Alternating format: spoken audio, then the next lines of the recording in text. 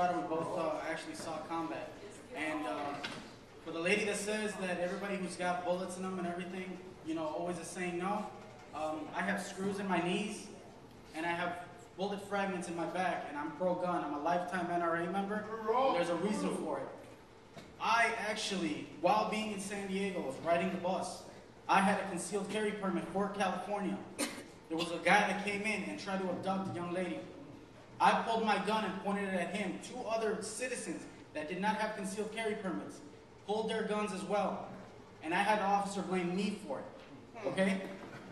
For the same reason, because I knew they were going to get in trouble. So I told them, nobody say anything. It's my fault. I pulled first. I saved her life and possibly the life of everybody else on there. Both, every representative here takes an oath. The police officer here takes an oath. Oh. I took an oath to protect all people from terrorism, foreign and domestic. Okay? I believe that if you are allowing, you know, gang members to run around amok, and you're telling me that as an uh, ex-military member with bullet fragments, IED fragments in my body, you're telling me that I can't carry a gun? Where's the justice in that? I'm a disabled veteran, and I'm still fighting for it.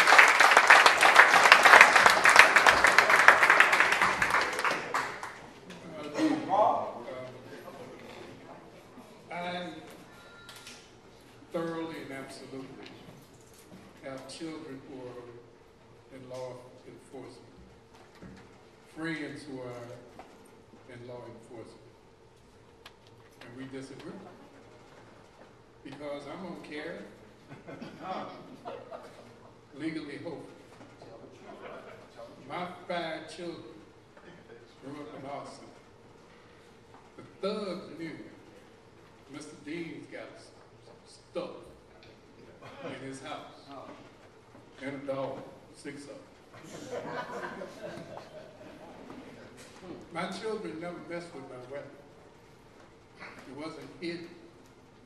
Mom and daddy whooped their ass. Come on, And there aren't always mom and dad. I've never seen a child born just to a mom. It's always a dad there somewhere, whether he's physically there or not, after the fact. Something is invaluable. I love policemen. My son and two others at 26, and a daughter-in-law. I love them dearly. The thugs don't care about them. They don't care about their uniforms. When we go out, where I live, 5418, and say to the thugs that want to sell dope, you can't do it. They're not. And they know that some of the people that come to that address got pistols. And I got a rock. And so they slowly, reluctantly move from my house. I work every day. I won't say where. Those who know already know. I see the funeral. I see the tragedies that don't get the paper. I see mothers, and I hear them say, "Oh Lord, why my child? Oh Lord, don't let it be the call that I dream." I don't cuddle thugs. I don't think that these little thugs have to be on the street to make money. You're 13. Go to school. You don't need to make money.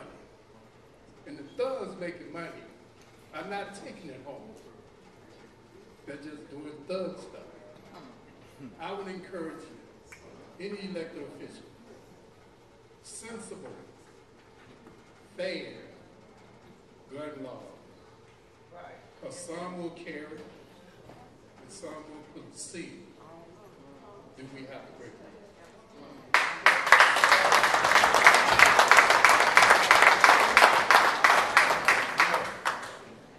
I think a lot of points have already been made.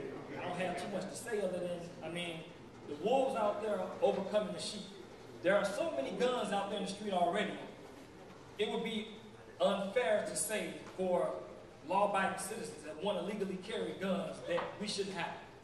It. It would be very unfair to say that because the people that want to have them to do us an injustice are going to have them. Mm-hmm. And just like the Marine spoke earlier, he was able to protect and save someone else's life.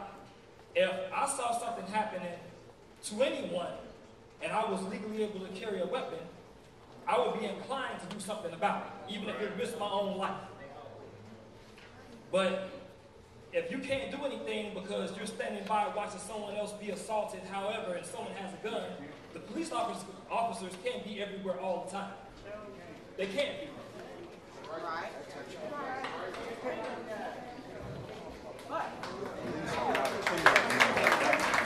That concludes our questions. I just have one question for uh, whoever can answer it, and that question is. No, I'm gonna have to. hold my say. Two seconds. Would you please tell Governor Quinn, if he don't get on board with this conceal and carry, we gonna get rid of him.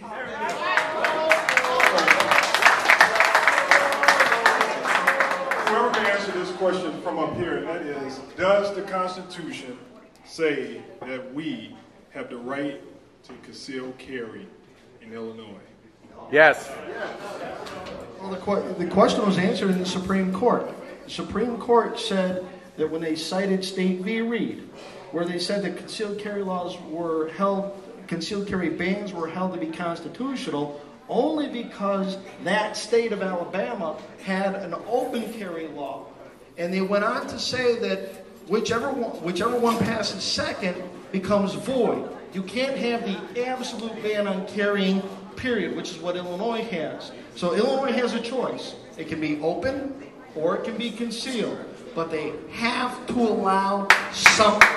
And that's why we're in the federal court, we're in front of the Illinois Supreme Court. That we're, you know, if the governor doesn't want to get on board, fine. We negotiated in good faith with a lot of groups this year. If we win in court, which we believe we're going to, the negotiations are over. We will reclaim our civil rights just like Rosa Parks and Martin Luther King reclaimed theirs. Just want to say that, um, you want to say something? All right, the, the meeting is officially over. It's 8 o'clock. There are a few more people that want to say something, and I wanted Derrick Smith, Representative Smith, to close us out with the final word. I just want to say one thing, with House Bill 148, once you all go ahead and pass that bill, institute in there some kind of uh, regulation on instructors. It, the, the way the bill is written, and because I've read it, it, it just says training, but you all have not put in there anything in regards to who can actually give the training, what kind of background they need to make sure once us law-abiding citizens go go to the training and get it, it's done right. How you doing? I'm, I'm Representative Derrick Smith. Came a little late, but uh, we've heard Representative Smith of the 10th District. We've heard what you said, and we're going to take heed to what you're saying, and we're going to consider that later on. So we want to just say uh, we thank you all for coming out. Thank you. Thank you very much for coming out. And you can always email me your um, response. If you're for or against, you can email Senator Collins, you can email Representative Turner and Representative uh, Smith and everyone. Thank you for attending.